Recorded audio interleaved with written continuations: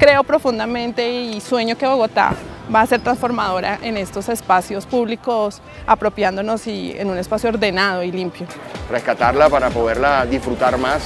Se me hace algo muy chévere que todos colaboremos con nuestra ciudad. Cualquier acción de limpieza es válida, es un hábito que deberíamos tener. Esto crea ciudad, crea como conciencia de pues que esto es de todos. Esta es la mejor oportunidad para apropiarnos de nuestros barrios, de nuestras localidades, de nuestra ciudad.